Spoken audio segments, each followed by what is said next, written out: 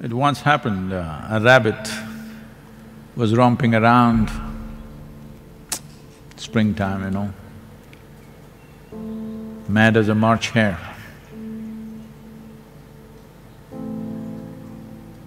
But then he heard a frog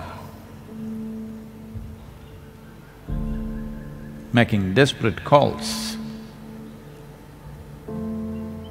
as if there was a pandemic.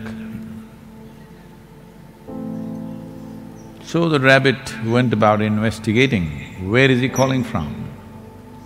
Then he found a hole in which the frog was sitting and then the rabbit asked, what are you doing in this hole? Why are you screaming? The frog said, uh, I fell into this hole, I'm not able to get out.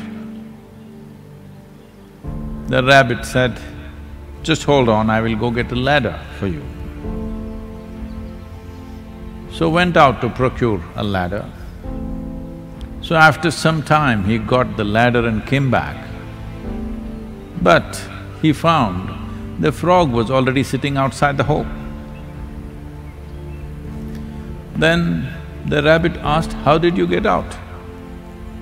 Well, after you left, a snake came into the hole, so I got out.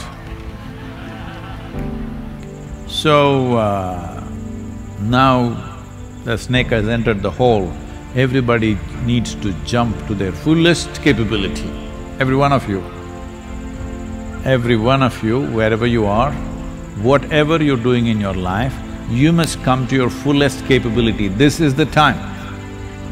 If we know how to make use of this time, we can come back with renewed strength and energy.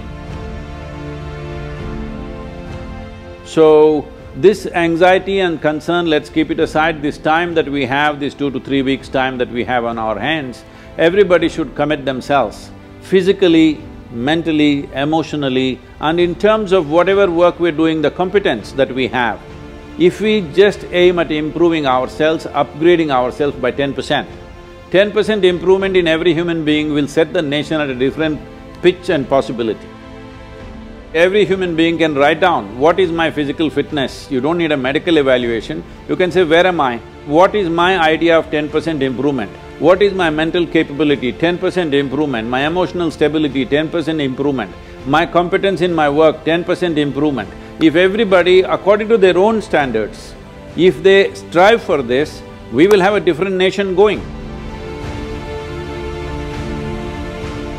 There are situations outside, there are impediments, challenges, but your own mind, your own emotion, your own attitude should not become an impediment and a challenge.